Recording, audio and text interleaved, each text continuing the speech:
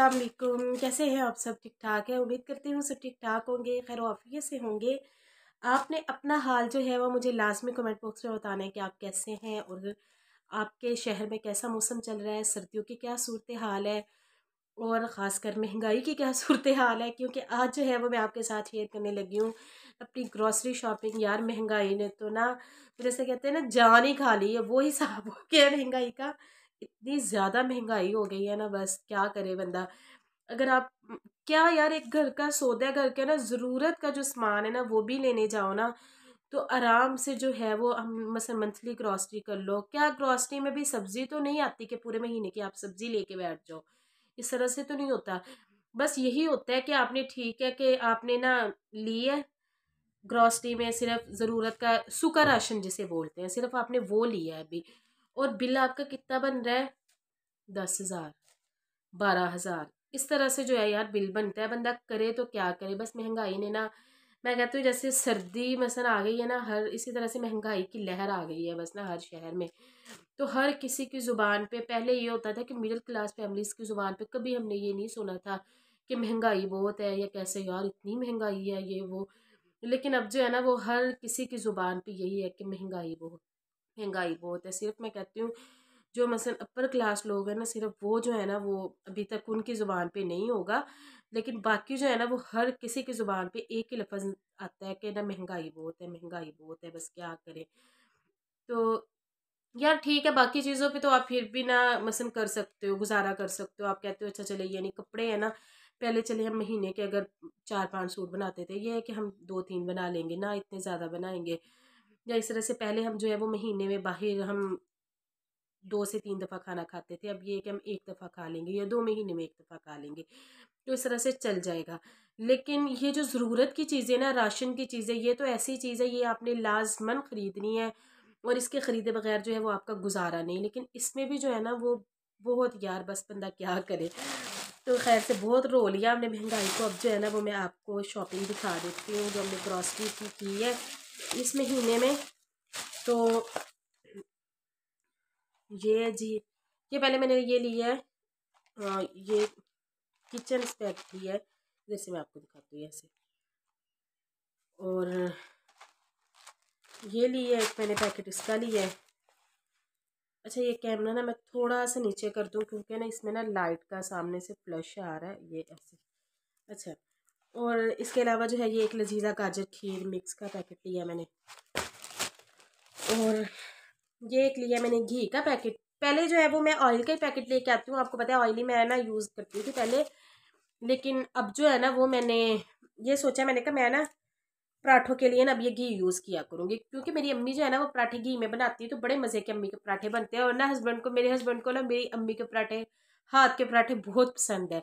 तो वो कितनी दफ़ा मुझे ये कहते हैं, जैसे जैसे मेरी अम्मी को ना माँ जी हम बोलते हैं तो ना मेरे हस्बैंड भी माँ जी बोल रहे तो वो कहेंगे कि जैसे माँ जी पराठे बनाती ना, वैसे ही नहीं तुम पराठे बनाती, वो जायका नहीं आता। तो मैंने ना फिर अम्मी से एक दिन मैंने गौर किया, मैंने कहा, अम्मी, पता नहीं क्या ऐसा करती हैं? जैसे हालाँकि मैंने आपको बताया कि मेरे पराठे भी इतने मज़े के होते हैं हस्बैंड को वो अच्छे लगते हैं, लेकिन मेरी अम्मी जैसे वो पराठे कहते तुम्हारा वो जायका नहीं है। तो मैंने भी एक दिन मैंने कहा अच्छा अम्मी घी में पराठे बनाती है, मैं ये कोशिश करूँगी।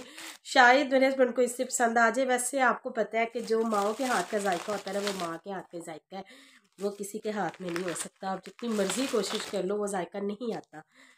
अच्छा जी, फिर उसके बाद ये मैंने दो कश्मीर ऑयल के पैकेट लिए और ये इसके अलावा रेज़र लिया ये तो हम लेडीज़ के लिए ज़रूरी होता है फेस रेजन के लिए। इसके अलावा ये एक लिया आलमंड का पैकेट लिया मैंने। और ये इसके अलावा मैंने वन के जी के चावल लिए और यहाँ पे ये मैंने लिए चीनी। ये थ्री के जी के इकट्ठा इकट्ठा पैकेट होता है और ये एक लिया हमने कैचअप और इसके अलावा जो है ये यहाँ पे मैंने एक लिया। अच्छा ये सारा जो है ये स्नैक आइटम्स है। ये सारे जो है ये वैसा की पसंद से आए हैं। उससे ये होता है कि जब वो काम वगैरह करती है या खेलती है, ऐसे स्कूल का काम करती है ना, शाम में तो फिर उसे ये होता है कि कुछ ना मंचिंग वगैरह करने के लिए मेरे पास हो। तो मुझे उसी ने सारा कुछ लिया सारा उसकी पसंद से आया मैंने इसमें से कोई भी चीज़ नहीं ली। जो स्नैक आइटम्स है ना, ये सारे लहसुन लिए बच्चों का ना इस तरह से होता है कि फिर ना काम करते करते अगर वो मुँह वगैरह हिलाते रहे ना अपना, ये खेलते खेलते। अब तो माशाल्लाह वो बड़ी हो गई है, खुद अकेले से भी खेलती रहती है ऐसे ही बस ना बैठी। मेकअप, कभी मेकअप का जिसमें आपको बताया ऐसे बड़ा शौक है, उसे आर्ट का बड़ा शौक है, कोई चीज़ बनाती रहती है ऐसे करती रहती है, मेकअप करती रहती है तो फिर उसके पास में ये होता है कि कोई ना ऐसी चीज़ हो, जिससे मैं मुँह हिलाती हूँ। ये जो मैश मेलो होते हैं ना, ये उसको बड़े पसंद है। ये उसने लिए, और ये केक। और इसके अलावा ये बंडीज होती हैं ना वही है। अच्छा जी। और यहाँ पे क्या लिया है हाँ ये एक मैंने बात का ऑयल लिया है। ये पहले जो है ना वो मैं आलमंड वाला लेके आती थी। लेकिन इस दफ़ा जो है ना वो मैंने कहा चलो मैं ना कुछ डिफरेंट ट्राई करती हूँ। तो ये था ओलिव्स वाला। तो ये वाला फिर लिया हाँ, ये ओलिव वाला है। तो असल में ना मुझे एलर्जी का मसला मैंने आपको पहले भी बताया तो सर्दियों में अगर मैं ये लगाती थी ना, पहले मेरे तो जहन में ही नहीं था। देख ले, बहुत सारे ऐसे काम होते हैं जो हम कर रहे थे लेकिन वो तजर्बे की बुनियाद पे हमें पता लगता है। हमें ना समझ नहीं आती कि अच्छा यार, ये ऐसे, वैसे वैसे हम बड़े समझदार बन रहे होते हैं, अपना घर बार चला रहे होते हैं, ये वो गृहस्थी को आराम से संभाला होता है। लेकिन वो फिर ये होता है कि ना, बस तजर्बे की बुनियाद पे कहते हैं ना, जो चीज़ हासिल होती है, वो आपको वैसे हासिल नहीं होती। तो मेरी अम्मी ने जो है ना, वो फिर, मैं पहले आलमंड का आई लगाती थी तो मुझे ना तकरीबन यानी कि ये दस से पंद्रह दिन जो है पिछले ऊपर से मैं ठंडी मेडिसिन भी ले रही थी। उसकी वजह से ना मुझे नज़ला, बस मेरा ना बहुत ज़्यादा मुझे ना ये वैसे भी इशू है, मुझे और मेरी अम्मी को ना हमें एलर्जी का इशू है।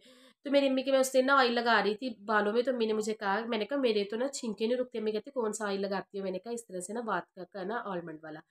तो अम्मी कहती कि, उससे भी वो ठंडा होता है, इस वजह से भी शायद तुम्हारे सर में ना जैसे वो तुम लगाती हो, इस वजह से भी शायद तुम्हारी एलर्जी ना रुक रही हो और तुम्हारा नजला ना रुकता हो। तो फिर अम्मी ने कहा, तुम ऐसा करो, तुम ना ओलिव वाला लगाओ। तो फिर मैंने कहा अच्छा चले ठीक है। तो ये वाला फिर मैंने ना अब लिया है। अब देखो, अल्लाह करे इससे कोई ना फ़र्क हो। अच्छा फिर इसके बाद ये वाला लोरियल वाला शैम्पू ये आजकल मैं यूज़ कर रही हूँ। वैसे मैं चेंज करती रहती हूँ। पहले मैं ब्लैक सन स्लिक भी यूज़ करती थी और इसके अलावा मैं ब्लैक सन स्लिक पहले मैंने यूज़ किया है। इसके बाद जो है वो मैंने कौन सा यूज़ किया था? हाँ ब्लैक सनस्लिक में ही मैंने गोल्डन वाला भी यूज़ किया हुआ है। और इसके अलावा मैंने यूज़ किया है ब्लैक वाला भी।